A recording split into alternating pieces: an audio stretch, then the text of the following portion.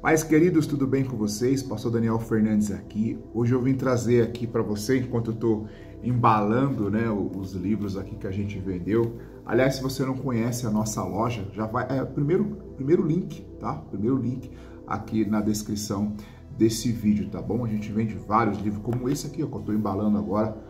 Quarto de Guerra. Quarto de Guerra, muito bom esse livro. Mas não é isso que eu vim falar, não, queridos. Mas se você quiser conhecer o primeiro link, tá? Aqui desse vídeo. Eu vim falar aqui da equipe do Donald Trump. Ele venceu as eleições e a equipe dele, sabe o que eles fizeram? Começaram a louvar a Deus, começaram a engrandecer ao nome de Deus. É isso que a gente tem que fazer. É isso que nós devemos acreditar, louvarmos a Deus e essas coisas devem ser mostradas sim. Não sei se vai me dar direitos autorais aqui no meu canal no YouTube, mas também não interessa. Eu quero mostrar para você o que a equipe do Donald Trump fez e que nós devemos aprender a fazer também. Nós devemos aprender a fazer também, louvarmos a Deus. Eu acredito que é o que o nosso país está precisando, louvarmos mais a Deus. Vamos ver aí então aí como é que foi aí é, após a vitória do Donald Trump, como que a equipe deles fizeram, agradecendo a Deus. Dá uma olhada.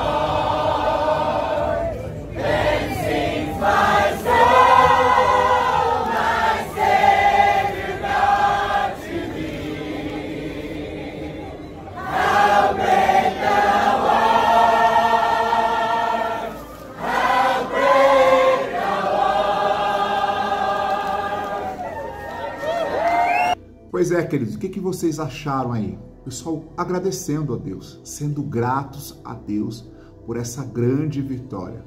Deixe seus comentários aqui embaixo. O que, que você achou aí da vitória do Donald Trump e também da equipe dele louvando e engrandecendo o nome do Senhor. Esse é o vídeo de hoje. Um grande abraço.